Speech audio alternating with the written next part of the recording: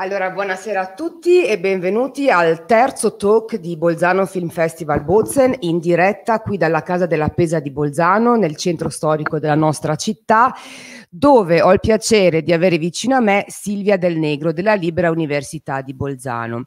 Oggi parleremo di Piccole Lingue, un nuovo progetto che abbiamo organizzato per la prima volta con la Libera Università di Bolzano e devo dire siamo molto felici di questa collaborazione e abbiamo degli ospiti particolari in programma al nostro festival con dei film che sono molto interessanti e quindi inauguro con voi adesso in diretta qui su Facebook perché in altro modo purtroppo non si può fare la nuova rassegna di Bolzano Film Festival Bozen Piccole Lingue. Benvenuta Silvia. Oh, grazie, grazie mille, sono molto contenta di essere qua in diretta perché insomma è una delle prime cose che faccio da non so quanto tempo live, anche se i nostri ospiti sono a distanza. Eh, bene, sono contentissima, eh, ricordo solo a chi ci sta seguendo che questi quattro registi rappresentano quattro dei film della rassegna, ma ci sono altri due film di registi internazionali, eh, due, mh, mm, eh, due cortometraggi o mediometraggi eh, che sono anche nella rassegna molto interessanti. Aspetta, eh, aspetta, aspetta, che prima di presentare questi quattro registi sì. che stiamo già vedendo, raccontiamo, teniamo il nostro pubblico sì, un po' in suspense giusto. e poi raccontiamo che cosa è Piccole Lingue, perché molti non lo sanno, per cui cos'è Piccole Lingue? Allora ti devo correggere perché la, il nome è Piccole Lingue Doc. ok? Allora, è una piccola, è una rassegna di documentari ehm, su eh, lingue di minoranza tendenzialmente, dedicate alle lingue, è organizzato da eh, un gruppo di persone, linguisti, geografo, documentarista, tre della Libera Università di Bolzano, in particolare attivi nel corso di laurea in linguistica applicata e una è una collega invece della Statale di Milano, la documentarista. E ci siamo messi insieme tutti con la passione del cinema, qualcuno anche più professionalmente e eh, con l'idea di ehm, fare qualcosa con il festival che riguardasse le lingue, ma in particolare le eh, lingue di minoranza. Poi l'idea di chiamare la rassegna Piccole Lingue Doc era una mia, ecco, era una mia idea perché ho una passione per le lingue piccole in generale, piccole in assoluto perché ho questa idea che ehm, la demografia delle lingue conta anche sulle lingue stesse, cioè quanto una lingua è parlata e diffusa ha degli effetti su come funziona la lingua stessa. Questo così per mio interesse, però in generale eh, piccole lingue vuol dire lingue più piccole rispetto alle lingue parlate attorno, Mm, paradossalmente uno dei film che abbiamo scelto, che è Little LA, riguarda l'inglese, che fosse una delle lingue più grandi del mondo, ma in quel contesto è una piccola lingua. Ma voi siete anche un corso di laurea, giusto? Per cui ci racconti come funziona, cioè dove siete ubicati fisicamente? Giusto, siamo un corso di laurea ehm, che esiste da soli due anni, quindi è un bebè di corso di laurea, eh, presso la facoltà di Bressanone di Scienza della Formazione, è un corso in linguistica applicata e tra i focus di questo corso c'è proprio proprio la tutela delle lingue, le minoranze linguistiche, la documentazione delle lingue, quindi insomma un era un po' un collante che univa i nostri interessi sia di didattica che di ricerca. Ecco, e, sono tematiche che interessano i nostri studenti, interessano noi come ricerca. Ecco. E adesso dirò una cosa che magari interessa a chi ci guarda, che è un po' strana. Se vedete un cameraman dietro le nostre spalle, perché così non è una cosa casuale. Allora, Agostino sta riprendendo questa trasmissione con voi ospiti che adesso togliamo la suspense, adesso li presentiamo sì, fra dai. qualche minuto, eh, perché questa trasmissione andrà in onda su Minet, che è una trasmissione sulle minoranze di Rai Südtirol e quindi poi chi volesse rivedersi o chi volesse vedere un approfondimento sulle piccole lingue DOC e sulle minoranze potrà vederlo su Minet. Quindi Intanto buon lavoro al nostro Agostino che ci fa da angelo custode per questa diretta e vogliamo introdurre i nostri ospiti? Sì. Allora, incominciamo con Stefano Giacomuzzi, regista di Sotto le stelle fredde. Benvenuto. Eccoci, benvenuto, grazie mille. Eccoci, benvenuto, grazie per essere con noi. Poi salutiamo da Cagliari, da Cagliari Andrea De Ida, regista di Barsewi. Buonasera a tutti, grazie per l'invito. Buonasera, benvenuti. Benvenuto. Poi dalla Valle d'Aosta eh, avevamo una disquisizione prima sul cognome suo, no? Perché allora Alessio Zemoz, però tu dicevi che... In, in Val d'Aosta sarebbe Alessio Zemo. Giusto? Ecco, allora qual è giusto Alessio il tuo Eccomi cognome? Eh, Zemo. Zemo? Ah, vedi, Zemo. allora, vedi, linguista ha ragione ogni tanto. Un linguista ci aiuta, quelli patois.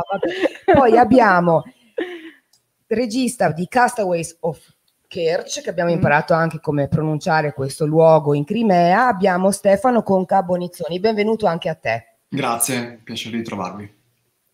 Ciao. Grazie a te. E iniziamo proprio con te, Stefano, perché vogliamo parlare di questa storia incredibile mm-hmm.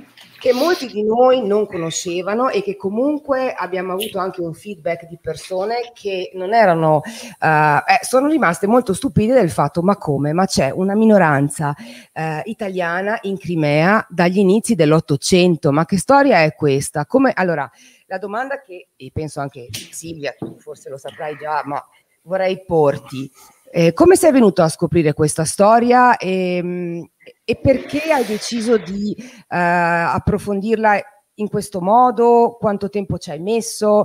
E che cosa sono state le cose che diciamo ti hanno più eh, colpito di questa storia di queste persone che poi sono state perseguitate? Se vuoi magari raccontarcelo.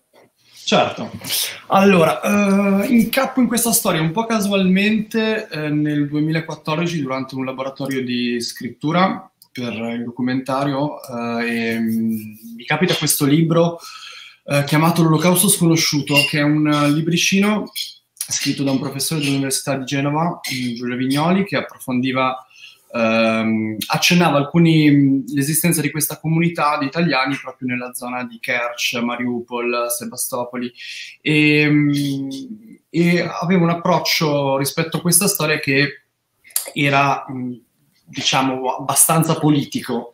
E questo tipo di approccio secondo me poteva eh, essere fuorviante nel raccontare questa storia, quindi le informazioni erano abbastanza limitate rispetto a quello che effettivamente c'era, quindi eh, decido di, di, di partire con, con, il mio fonico e proprio nel 2015 con uh, appena finita la guerra del Donbass, scendendo da Donetsk e raggiungendo la, la penisola di Kerch, uh, facendo quasi 600 km. E um, arrivando poi eh, a Kerch, che è la, la, punta più estrema della Crimea, quella dove oggi c'è costruito questo ponte che unisce la Russia, quindi ha completamente invertito uh, le sorti di questa piccola città nel 2015-2016 era una, uh, veramente la propagine di, eh, del, dell'Ucraina. E lì eh, questa piccola comunità di italiani presieduta eh, e raccolta e sostenuta da un'associazione che si chiama Associazione Cerchio di Giulia Giacchetti Bolco ehm, ha cercato di mettere insieme quelle che erano uh, le persone che restavano sul territorio e che avevano dei cognomi italiani e fare delle attività per uh, riscoprire uh, quelle che erano le loro, le loro origini. E quello che troviamo scendendo è qualcosa di sorprendente. Effettivamente ci sono uh, centinaia di persone eh, che anche non conoscendo, non sapendolo effettivamente, hanno origini italiane. E perché magari questo cognome è stato perso nel tempo, nella, nella, seconda, nella terza generazione, molti di questi cognomi vengono russificati aggiungendo uh, delle lettere alla fine per problemi o di ascrizione oppure proprio volontariamente. E, e quindi iniziamo a girare le interviste ai sopravvissuti, la, come prima cosa, perché esistevano effettivamente dei sopravvissuti rispetto a questa storia. Uh, parliamo, ad esempio? Parliamo di... Eh, io ho intervistato 10 persone che hanno vissuto la deportazione eh, del 1942 in prima persona. Quindi un numero direi... Che sono riusciti a tornare poi, che sono riuscite poi a che tornare. Che sono riuscite a tornare, esatto. Uh, alcune di queste mh, mm, sono rimaste in Kazakistan, quindi sono andato poi nel terzo viaggio uh, tra Karaganda e Alask a raggiungere queste persone per raccogliere la loro testimonianza e sono circa una decina, sì. Sì, quindi come prima cosa abbiamo, abbiamo raccolto le testimonianze, poi nel film se ne vedono soltanto due eh, perché in qualche modo l'idea non era quella di costruire una, un documentario a tesi, un a denuncia, nonostante ci fossero tutti gli elementi, un, un racconto corale, ma in realtà relazionare quella che era la memoria di questa storia con, la, con quella del, del, della deportazione, il luogo della deportazione, che è un luogo incredibile. Eh, ma Stefano, posso sì. chiederti, cioè all'inizio dell'Ottocento queste persone si sono spostate eh, verso questo luogo per quale motivo e quanti erano? Cioè, qual è allora, stata la causa di questo movimento? Questo ci interessa anche, cioè perché un gruppo di italiani parte e va in Crimea? Uh, sono discordanti le, le ragioni. Sì, c'è chi dice che ci sia stata una richiesta specifica dello zar che ha raggiunto le zone della Puglia e della Liguria per ricercare figure specifiche come contadini eh, di, per i vitigni oppure armatori, eh, marinai. Uh, la ricostruzione più verosimile è che sia un flusso migratorio un flusso migratorio come ce ne sono diversi, che in due o tre fasi a partire dall'inizio dell'Ottocento abbia eh, raggiunto le propagini della Crimea. Queste sono perché le latitudini sono molto simili a quelle dell'Italia, quindi eh, la, la, terra e, e, le coltivazioni della vite eh, sono coltivazioni che si potevano anche realizzare in Crimea e quindi la, la manodopera italiana era molto ricercata. E, e si creò una vera e propria comunità di italiani.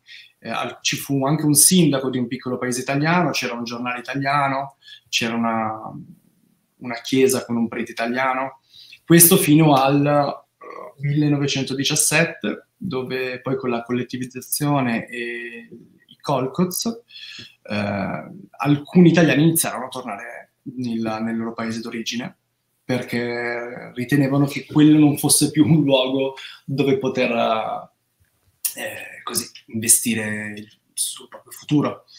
Altri decisero di restare, vennero inseriti nel Colcoz Sacco e Vanzetti, che è il nome di questo, di questo luogo alla, alla fine di, di Kerch, alla, alla, alla, periferia di Kerch, dove tutti lavoravano la terra per uh, un piccolo stipendio, un piccolo stipendio di, che era uguale per tutti, che gli permetteva di comprare giusto l'essenziale, che era il cibo, e, e venne, tutta la proprietà privata venne sequestrata e chi rimase poi dovette eh, essere accusato nel 1942 con lo scoppio della seconda guerra mondiale e l'invasione da parte dei tedeschi di quella zona di, eh, di, essere un fascista. Quando i russi riconquistarono quella zona della, della Crimea, dopo la conquista dei tedeschi, eh, quelli che rimasero, vennero, la comunità italiana che era sopravvissuta, mh, mm, venne accusata di essere fascista. E quindi in un'unica notte, nel 1900, il 29 gennaio del 1942, venne caricata su dei barconi e portata dall'altra parte del, del Mar d'Azov. Si con... Stefano, aspetta Silvia. No, sì, mi è venuto, ehm, non volevo interrompere Stefano, ma ehm, volevo forse dare una um, minima spiegazione sulla selezione di questo film da parte nostra, a parte vabbè, la bellezza perché è molto evocativo e riesce a esprimere tutto questo non appunto in modo didascalico, ma eh, con queste immagini fortissime. Ma in realtà noi, eh, una cosa che non ho detto prima è che non, eh, il nostro approccio verso questa idea di lingue di minoranza, piccole lingue, non vuole essere un approccio in qualche modo passatista, quindi la lingua antica, ancestrale del mm-hmm. paesello che non si è mai mosso. In realtà piccola lingua, come dicevamo prima, è relativa, quindi siamo molto interessati alle vecchie e nuove minoranze e il caso degli italiani di Crimea sono veramente un caso un po' intermedio perché è una, è una comunità di emigrazione, quindi di immigrazione, e però al tempo stesso è passato tanto tempo e ha creato comunità, per cui possiamo dire quasi che è una minoranza della, della Crimea o comunque del, dello stato in cui si trova. Quindi questo ci era piaciuto molto. Anche due, i due film di registi non italiani sono appunto casi di emigrazione, dove però la comunità immigrata poi forma comunità e quindi è una comunità di minoranza. Ecco. Vogliamo dire allora altre due cose prima di ringraziare Stefano e chiedendogli di stare ancora con noi durante la trasmissione, che qualsiasi apporto di tutti voi quattro è importante.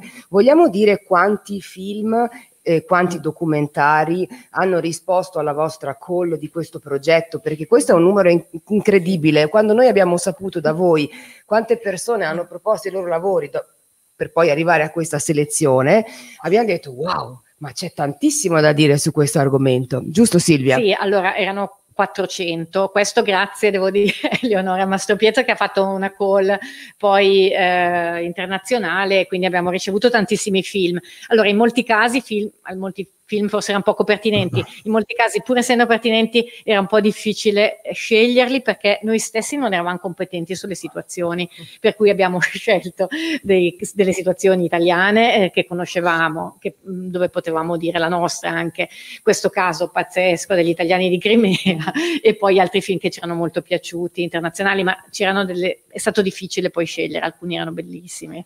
Comunque era importante fin dall'inizio che fossero soltanto documentari, giusto? Sì, questa è stata una scelta dei nostri colleghi documentaristi, eh, per cui io mh, mm, sarei stata anche aperta a film di finzione, però alla fine sono contenta di questa scelta. Ma vi aspettavate un successo così? Cioè noi siamo molto contenti perché possiamo, abbiamo una finestra nuova sul, nel programma del mm. festival che ci arricchisce tantissimo e abbiamo aperto mm. una porta verso arriverà, non, non, si sa, adesso per adesso è arrivato tantissimo e abbiamo anche diciamo molto riconoscimento, ma voi pensavate a un successo così? No. Così questa cosa no, devo dire, poi non sono del settore, quindi non mi immaginavo. Quando abbiamo visto questi 400 ci siamo anche un po' spaventati, devo dire la verità. Guarda, Molte serate a guardare film. Lo sappiamo perché noi come selezionatori di film per i festival ci diciamo, mm. ci dividiamo i film e così e comunque sappiamo che è un lavoro molto impegnativo, sì. per cui siete stati, mm. che non è il vostro lavoro, perché sì. voi siete linguisti, diciamo sì. comunque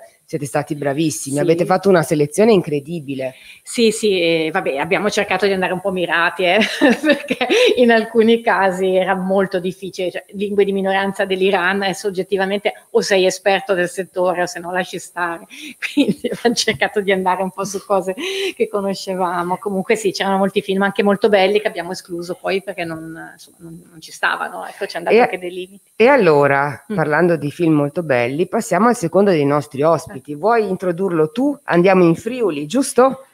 Ah, Stefano Giacomuzzi, bellissimo, bellissimo film. Eh, Sotto allora, le stelle fredde. Sì, scusa. Niente, figurati. So, sotto, so. È meraviglioso, sotto, sotto le stelle fredde.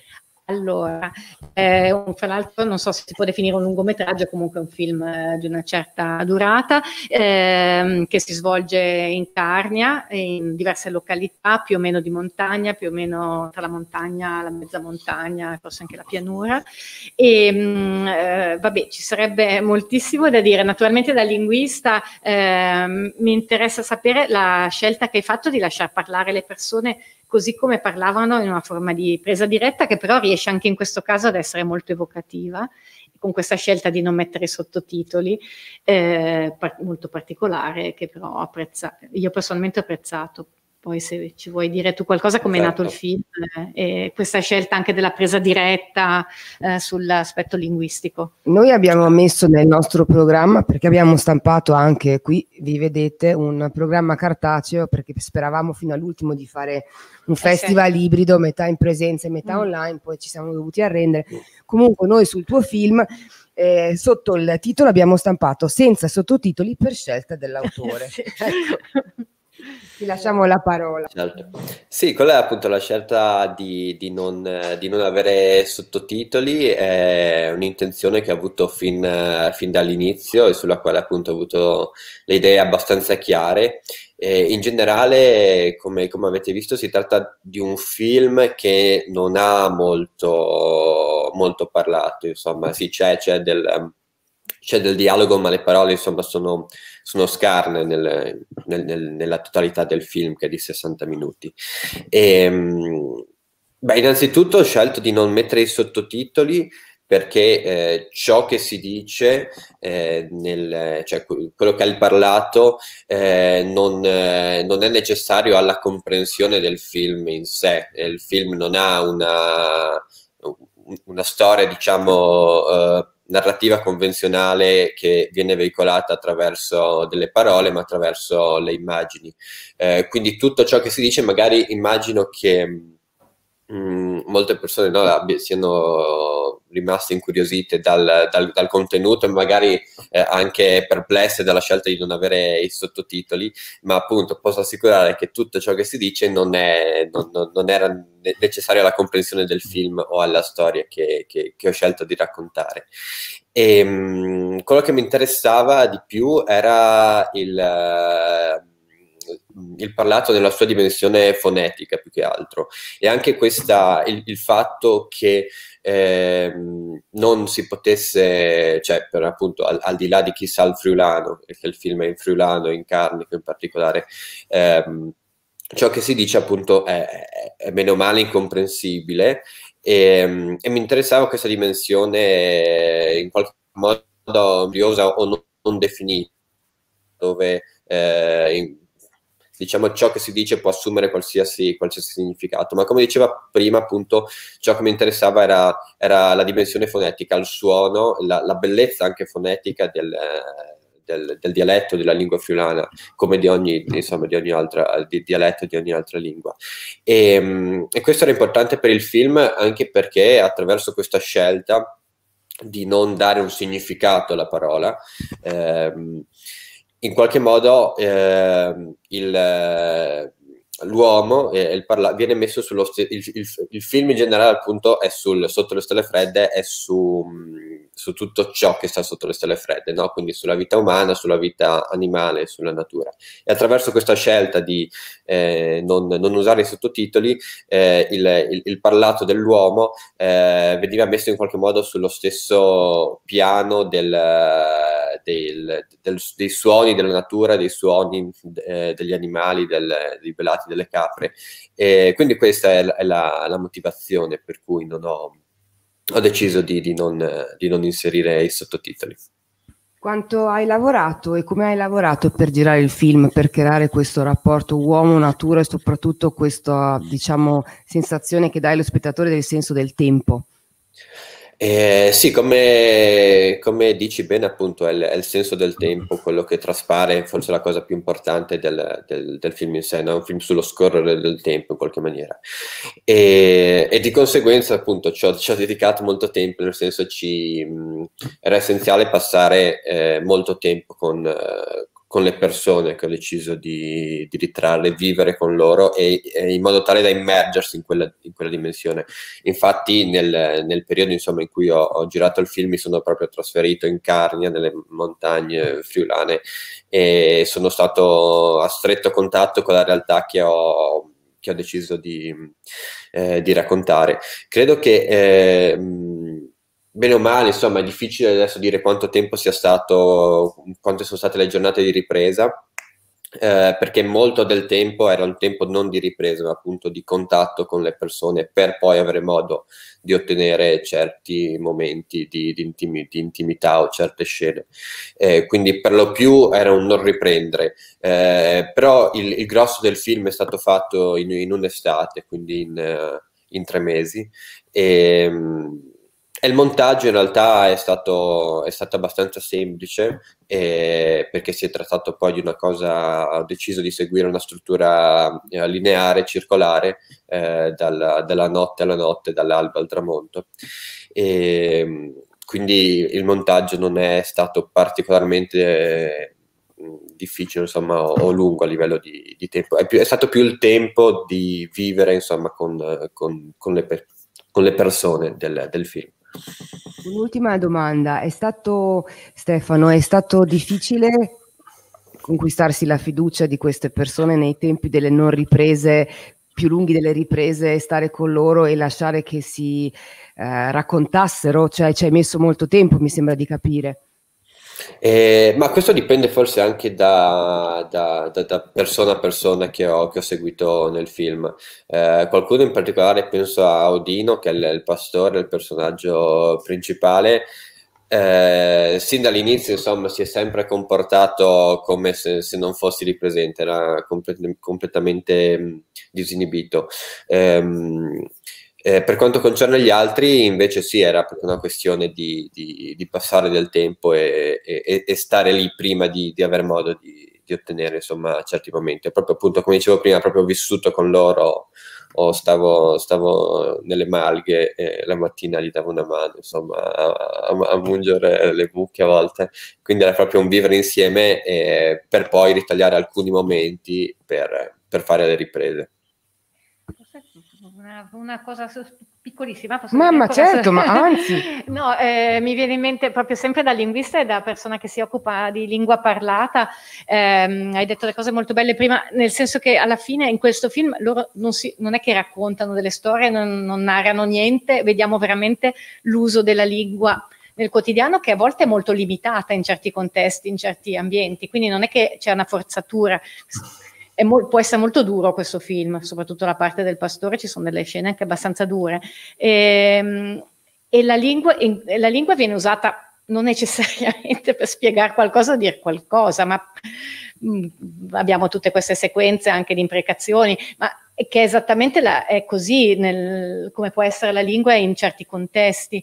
E, e questo, e questo uso veramente anche molto limitato e per cui non c'era effettivamente bisogno del, del sottotitolo perché eh, la lingua è parte della persona, è parte dell'ambiente circostante, ma non necessariamente comunichi- è interessante quello che stiamo dicendo in quel certo. momento, ma il fatto che lo usiamo.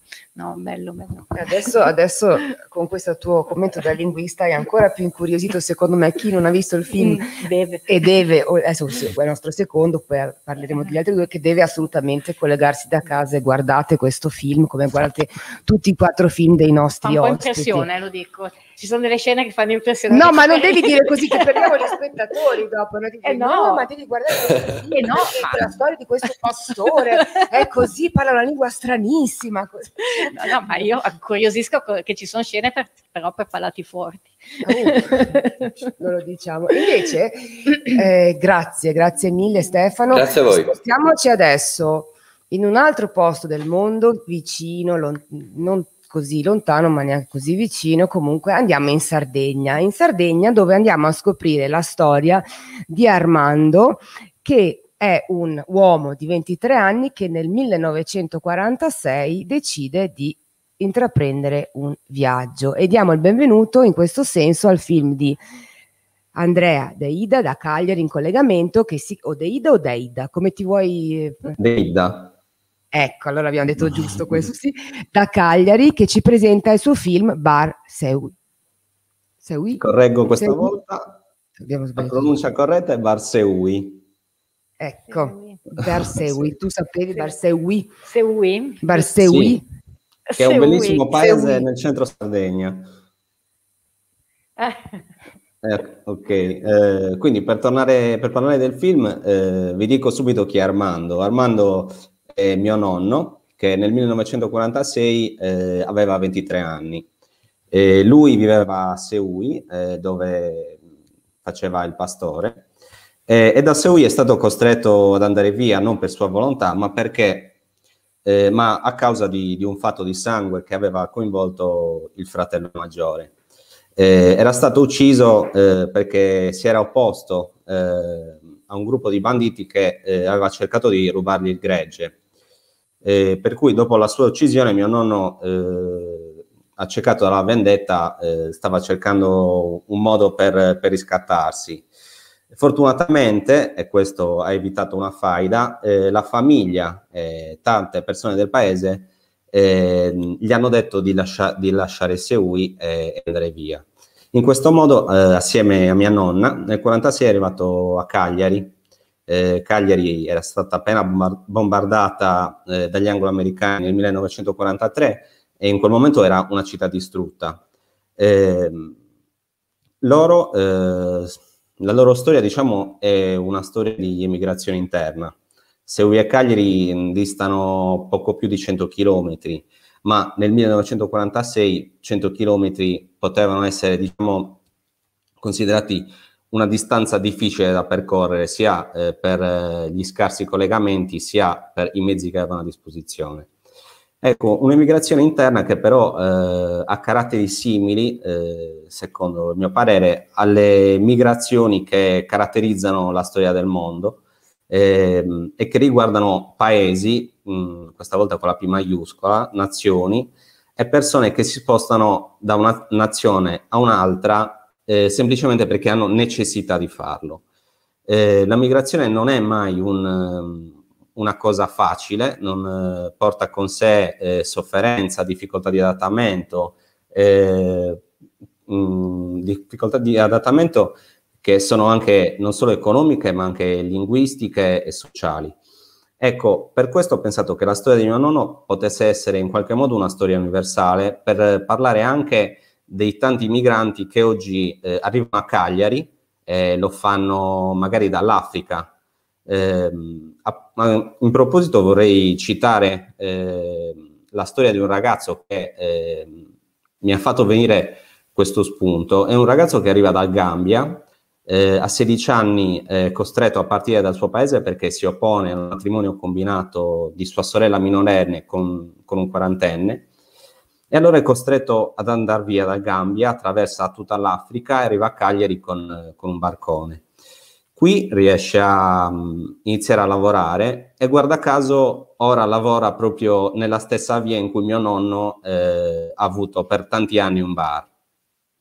E qui eh, diciamo il perché del titolo del documentario.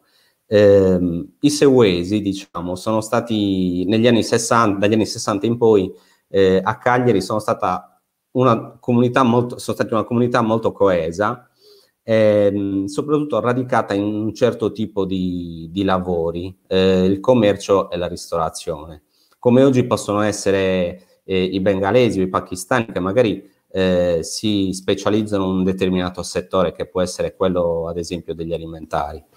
Ecco loro eh, aiutandosi a vicenda tramite anche un sistema molto particolare, eh, sono riusciti ad avviare tutta una serie di attività e aiutarsi eh, vicendevolmente e superare in questo modo le barriere che, eh, doveva, che, avevano, che incontravano eh, non appena arrivati in città, perché il passaggio da un piccolo paese a una città in quel momento in espansione come Cagliari non doveva assolutamente essere semplice.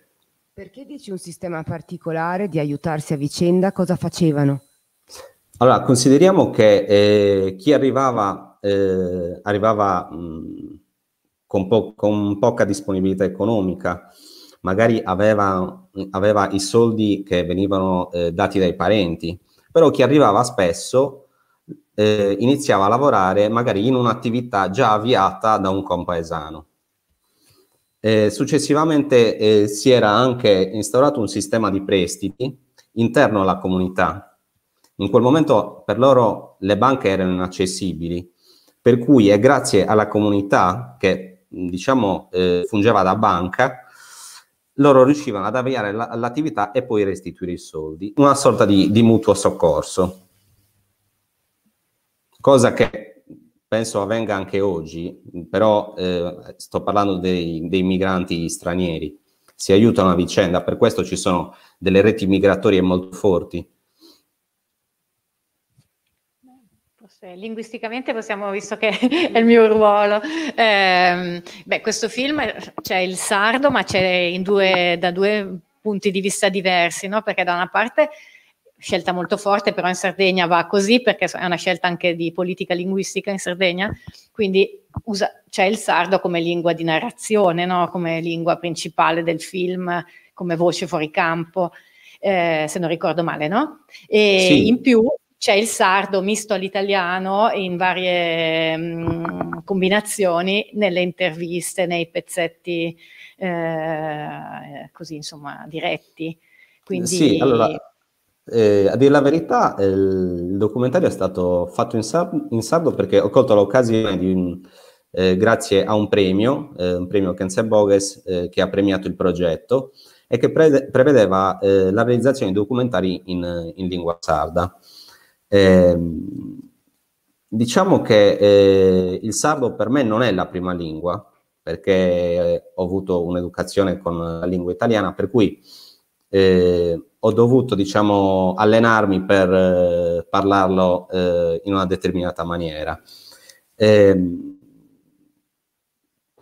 ehm, hai sottolineato anche l'aspetto un, del fatto che molti, alcuni intervistati mischiassero italiano e sardo. Questo eh, diciamo che è una eh, delle conseguenze del, dell'andare e venire delle persone da un posto all'altro eh, ci sono persone che magari partendo dal paese parla, hanno, sono arrivate a Cagliari con la variante tipica parlata a Seui e poi dopo 50 anni di quella variante hanno perso molto e eh, l'hanno mischiata diciamo al, al dialetto cagliaritano, alla, alla, variante della lingua cagliaritana. Ecco, sì, questo diciamo che... regionale poi, eh. no scusami. No, scusa, eh, era soltanto per sottolineare il fatto che, che, il sardo viene parlato tutto in Sardegna assolutamente, soprattutto eh, nei paesi, eh, ma anche diciamo nelle città eh, si mischia molto all'italiano e questo fa sì che, a, a mio parere, la lingua continui, continui, a vivere, sia una lingua ehm, che cambia, eh, ma comunque sempre, sempre utilizzata. Sì, mi trovi perfettamente d'accordo, diciamo che proprio... E, sicuramente direi io riconoscibile, no Silvia? Perché è un accento mm. molto forte italiano, Beh, molto forte. Però sì, quello che dici tu è, è l'italiano parlato dai sardi, ma... ma però con questo accento sì, eh, ma in più c'è proprio il sardo misto all'italiano, che è una cosa ancora diversa, che nel film proprio si vede, che è proprio quello che, come diceva ehm, il nostro regista, che permette al sardo di sopravvivere, così come moltissime lingue di minoranza, fra cui il ladino, insomma il fatto di poter essere usato in appoggio ad un'altra lingua e questo ci porta in Val d'Aosta, direi. Sì, perché dopo la Guinea, il Friuli, la Sardegna, anche adesso lì, come misto. Accogliamo il nostro ultimo ospite, che lascio pronunciare a te il suo nome, visto che tu l'hai pronunciato giusto, Andrea che ci, porta, esatto, che ci porta in Val d'Aosta. Benvenuto anche a te. Ciao, benvenuti, grazie. Allora, parliamo eh, di ferro, giusto? Sì, esatto. E, um, ci troviamo in Valle d'Aosta, ci troviamo a Sar, eh, che è un comune eh, della cintura di Osta, uno dei più popolosi ancora, ancora oggi. Tra quelli, forse quello che più ha subito in qualche modo mh, l'espansione della, dell'area urbana, ecco, e che però ospita una delle eh, situazioni eh, che più hanno a che fare con la tradizione in qualche modo e con il desiderio di conservazione della tradizione. Eh, il film Ferro infatti racconta proprio del, di un rito di passaggio all'età adulta eh, e quindi racconto eh, mi sono immerso ecco, una, nella vicenda di due gruppi, i coscritti, quindi coloro, i ragazzi che festeggiano i 18 anni, la maturità in qualche modo, e invece la Badosh, il gruppo della Badosh, che è un gruppo eh, legato alla, alla, alla, tradizione e in alcuni altri comuni della valle anche più al folklore. Eh, ed è un gruppo che appunto durante la festa patronale, eh, insomma, va, va, a giro, direbbero, eh, direbbero in Toscana, e, e mm, per, per il villaggio, per alcune frazioni del villaggio, portando musica nelle case, festa e, eh, e, così, gioia, ecco. Una delle caratteristiche principali di questo gruppo è che si può aderire al gruppo e partecipare solo in quanto celibi o nubili, ma anche eh, abitando in alcune frazioni di questo comune. Quindi è una storia di eh, micro territorialità, eh, di desiderio appunto di mantenimento delle tradizioni. Uh, e per me è stato un momento molto interessante uh, di ragionamento attorno a questi, a questi temi.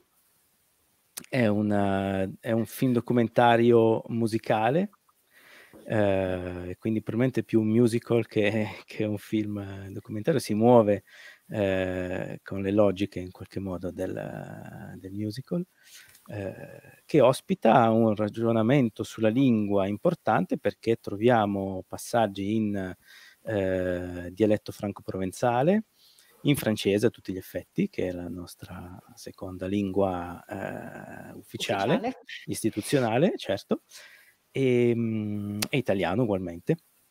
Eh, Beh, posso dire, ehm, una cosa che mi è piaciuta moltissimo eh, di questo film è che Poteva, era molto più fa- sarebbe stato molto più facile se vuoi una cosa tradizionale della Val d'Aosta, vai nel paese della, di qualche alta valle, dell'alta valle, eh, con case molto caratteristiche, no? vai Val Savaranche, vai in qualche valle un po' più caratteristica, eh, qualche tradizione un po' più spinta, costumi tradizionali, eccetera, e sarebbe stato quello che uno si aspetta. Invece Sare è tutta un'altra cosa, come dicevi tu, è la cerchia di Aosta, e quindi eh, e però la tradizione in questo caso è davvero tradizione e, e non, è, non c'è folklore in questo senso, c'è tradizione vissuta e di fatti è sporca in qualche modo, no? se vuoi linguisticamente è sporca e anche come gestione della cosa, insomma non necessariamente devi essere vestito in un certo modo, non necessariamente devi essere eh, un anziano, anzi.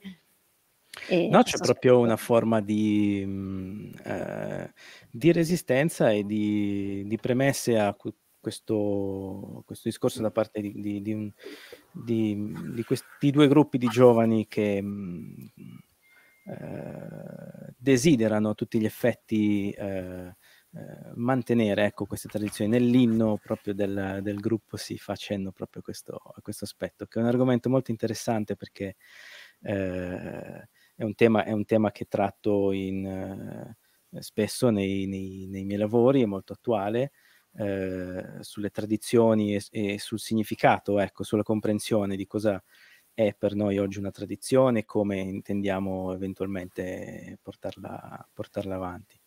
Um, è, un film, è un film che, che si prende più di una libertà e, eh, era, era, ero molto, ero interessato, è, molto, è molto vicino a me tutto questo contesto. Io l'ho vissuto insomma di riflesso grazie all'amicizia e, e appunto al fatto che abito a pochi chilometri, quindi mh, era un'indagine anche dentro di me in qualche modo. E, e ne è venuto fuori appunto un, un musical un po' sognante, eh, un po' fuori dal tempo, eh, sicuramente come anche pretesto di ragionamento. Eh, c'è un lavoro estetico sicuramente sul, sul, film, quindi sul colore, sul formato, eh, che mi ha aiutato anche a trovare la posizione e il mio posto dentro questa storia in qualche modo e quindi, e quindi mi, sono, mi sono preso la libertà a volte di filmare anche come, fossero, come fossi parte del gruppo e come fossi un, quasi un filmino di famiglia, insomma, ecco. E... Grazie Alessio. Adesso, siccome abbiamo solo qualche minuto ancora, abbiamo già sforato sì. i nostri talk, sono veramente sì. pieni. pieni. No, ci arriva una domanda da un nostro ascoltatore. Eh, praticamente, beh, adesso allora sì, adesso Mike, ok, grazie, perfetto, era, già, era appena sparita dallo schermo. No, vorrei fare, partendo proprio da, lei, da te Alessio e poi tornare indietro con, con gli altri in ordine, l'ultima domanda, magari se possiamo stringere con una risposta, ci chiedono, per voi, quattro registi, la sfida linguistica, cioè pianificare un'opera improntata su una lingua che inevitabilmente necessiterà di sottotitoli per comunicare con lo spettatore, vi ha spaventato o addirittura inizialmente scoraggiato? Oppure avete intuito subito le opportunità anche nell'ottica di distinguersi dalle produzioni correnti e arricchire quindi l'esperienza dello spettatore? Ecco, adesso l'ho letta tutta. Avrei scelto questo, questa parte della risposta, sicuramente un'opportunità. Eh, grazie Massimo per la domanda. eh, sì, un'opportunità eh, di, di, comprensione, di nuovo di, di approfondimento e, e anche per sperimentare appunto le, le, le, i margini di, di, capacità com- di, comunicare, di arrivare nonostante, nonostante il particolarismo. Ecco, io poi oltretutto eh, ho fatto anche, mi sono appoggiato all'uso dei sottotitoli, però ho sottotitolato in dialetto, quindi eh, che per me era molto importante anche tra- trasferire questo, questo, aspetto di testo scritto e di tradizione orale, insomma, ecco questo. Grazie Alessio. Andrea? Eh, allora, sinceramente io non, ho, non mi sono posto il problema, nel senso che eh, dovendo raccontare una storia che pensavo essere universale, eh, ho pensato che arrivasse, arrivasse ugualmente, sia che eh, facessi parlare eh, gli intervistati in sardo, sia che li facessi parlare in italiano. Poi diciamo che ho, visto, ho, ho vissuto la scelta di utilizzare il sardo anche come, come una sfida per continuare diciamo, a, a, coltivare una lingua che se non viene parlata dalle nuove generazioni si perde. Mm-hmm. Grazie. Stefano Giacomuzzi, la tua e... esperienza? Ma sicuramente per me insomma non mi, ha, non mi aveva spaventato come, come, scelta, avendo anche fatto altri lavori del genere, ma soprattutto insomma per come abbiamo discusso il fatto che fosse in un'altra lingua e che non ci fosse la dimensione del significato della parola che fosse comprensibile, come abbiamo detto prima, per me era un, un'opportunità e un punto di interesse. Mm-hmm. Invece tu, Stefano Conca Bonaccini, la, la, eh, la tua esperienza era differente, no? Sì, io il tema, la tematica della lingua me la sono ritrovata uh, esatto. mentre giravo, quindi la, la, lingua come strumento per questa comunità di ritrovare le proprie origini, le proprie radici, uno degli elementi più importanti per questa comunità. Uh, per me il, la lingua è stata una difficoltà nel riuscire a relazionarmi con queste persone, uh, la scelta di um, ritrovarsi in un contesto straniero senza poss- avere una una padronanza della lingua eh, non mi ha spaventato, ma è un limite, è un limite da considerare. Se poi eh, la sfida invece allo spettatore di trovarsi una, un documentario con una forma strana, una commissione di genere, una libertà e in più anche i sottotitoli, eh, questo è un tema a cui non saprei darti una risposta. Credo che eh, qualcuno, una parte di pubblico lo si perda. Mm. Però... Beh mm, però è un rischio che si può correre, no? Facendo grazie. Eh, grazie anche a te Stefano. E Silvia, allora, questa esperienza la rifacciamo? Sì, assolutamente. Ecco. assolutamente. No, mi sono molto divertita, è stata una bellissima esperienza anche con, conoscere. Ah, è stata una bellissima esperienza anche conoscere i registi e poi anche vedere i 400, non forse non tutti i 400, però un po' di film. e, no, no, è fondamentale. E la discussione con loro è stata interessantissima. Certo, io mi occupo di lingue dalla mattina alla sera mh, mm, professionalmente, ma sentire il punto di vista di qualcuno che invece, eh, per, eh, per, il quale la lingua è uno dei mezzi espressivi eh, all'interno del proprio lavoro è un punto di vista diverso. Oddio dici ti occupi di lingua e adesso sei stata incastrata perché ti occuperai anche di cinema, per cui non, sei più, non ti libererai più dal cinema. Beh, io al cinema ci vado qua di fronte. quando aprirà. Sì, eh, eh, no, grazie Silvia a grazie tutto a il tuo gruppo, grazie sì. mille per essere qui con noi, grazie ai due Stefano, grazie ad Andrea, grazie, grazie ad Alessio e mh, mm, vi invito domani sera alle 20 se avete tempo e voglia di essere con noi perché ci sarà sempre su questo canale, sul nostro canale YouTube YouTube ci sarà la premiazione della 34esima edizione del Festival del Cinema mentre prima alle 18 sempre su questo canale ci sarà l'ultimo dei quattro talk che abbiamo previsto per questo festival organizzato col forum prevenzione alla violenza di Bolzano e si parlerà con Martine De Biasi di orientamenti sessuali ed identità. Niente, vi ringrazio ancora, ringrazio te Silvia, porta i nostri saluti a tutto il tuo gruppo sì. di di, di, linguisti, possiamo dire i loro nomi di coloro che stanno dietro questo progetto? Allora, sì, oltre a me Daniela Veronesi, che è l'altra linguista, Daniele Ietri, che è il nostro collega geografo, e Eleonora Mastro Pietro, che è geografa e documentarista. Grazie Silvia, grazie, grazie a voi tutti. tutti. grazie a tutti coloro che ci hanno seguito e seguiteci ancora. Noi siamo online fino a domenica per questa 34esima edizione del festival. Una comunicazione di servizio prima di salutarvi, i Festival Pass per nostra gioia, forse non so se tu lo sai, sono sold out, ma tutti i biglietti per i film al costo di 3,5 euro ogni biglietto sono ancora acquistabili. Quindi buona visione e grazie a tutti per, per essere stati con noi oggi. Grazie. Grazie, ciao. Grazie a voi. Grazie, Grazie a voi.